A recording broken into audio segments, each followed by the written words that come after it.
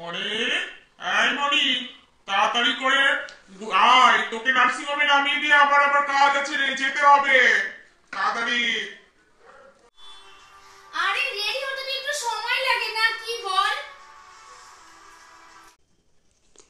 এই ছোট জামা এই ড্রেস পরে তুই নার্সিং হোমে যাবি? হ্যাঁ? দাদা তুই বাবার মতো না বড্ড শেখালে বড্ড বক বক করিস। চল তো আজকাল এই সমস্তই চলছে। চল চল আমাকে একটু কলেজে পৌঁছে দিবি। চল না চল না চল চল। কি যে বলব? এই দাদা দাদা দাদা দাদা পাঁচশো টাকা দে না। দে না পাঁচশো টাকা দে না। বল বল কি করবি পাঁচশো টাকা দিয়ে বল। আরে বন্ধুদের সাথে ঘুরবো ফিরবো সিনেমা দেখব খাব তারপর আসব বুঝলি? সেই জন্য টাকাটা চাইছি। কত কিছু বলতে হয় তোকে? ভালো লাগে না। বুঝিস না নাকি? পাঁচশো টাকা? পাঁচশো টাকা? কি করবি? পাঁচশো টাকা কটা শূন্য থাকে জানিস? হ্যাঁ জানি। পাঁচশো টাকার পাশে কটা শূন্য থাকে? হ্যাঁ আমি জানি। আমি সবই জানি।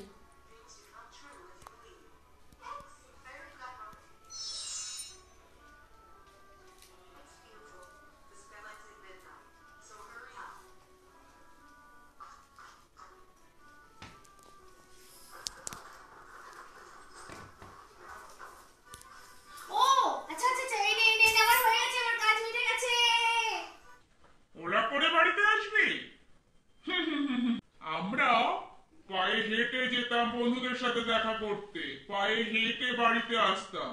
পকেটে কুড়ি টাকা। কি করে বুঝবি? বন্ধুদের সাথে এরকম আড্ডা মারার টাইম আমাদের জীবনে আসেনি রে। বুঝবি কি করে? দাদার হাত মাথায় আছে তো বুঝবিটা কি করে? সন্ধ্যা সাতটার সময় তুই কোথায় যাচ্ছিস? সন্ধ্যা সাতটার সময় কোথায় যাচ্ছিস? বিয়ে বাড়ি যাব। বিয়ে বাড়ি যাব। বুঝলি হুম বন্ধুদের phone number WhatsApp number location সব কিছু দিয়ে যা চল চল তোকে দিয়ে আসি তোর সঙ্গেই যাই চল চল তোকে দিয়ে আসি। এখন আমি বড় হয়েছি রে জানিস? লজ্জা লাগে আমার। তুই সব জায়গায় যাস আমার ভালো লাগে না। একদম টিপিক্যাল বাবার মতো হয়ে যাচ্ছিস যত দিন যাচ্ছে। দাদা আমি বেরোচ্ছি বেরোচ্ছি কোথায় যাচ্ছিস আরে পড়তে যাচ্ছি পড়তে যাচ্ছি দেখছিস না? ব্যাগ আছে? কোথায় আর যাব? পড়তেই যাচ্ছি। অন্য কোথাও যাচ্ছি না। যাই। কোথায় যাচ্ছিস? আরে আমি পাশের ঘরে শুতে যাচ্ছি। তুইও ওখানে যাবি নাকি? আমাকে দিতে? হ্যাঁ? তুই যে দিন দিন কি হচ্ছিস না তার বলার মতো না। আমি এখন ঘুমাতে যাচ্ছি রে বাবা নে ছাড় এবার আমাকে কি যে বলব brother and sister heart touching relationship একটা ছোট্ট করে তুলে ধরলাম। মানে সত্য ঘটনা অবলম্বনে ভাই বোন থাকলে এরকমই হয়। ভাই বোন থাকলে এরকমই হয় এবং আমার লাইফেও ঠিক এমনই হতো, তাই আমি তোমাদের সামনে একদম তুলে ধরেছি, নিজেই লিখেছি, নিজেই তুলে ধরেছি।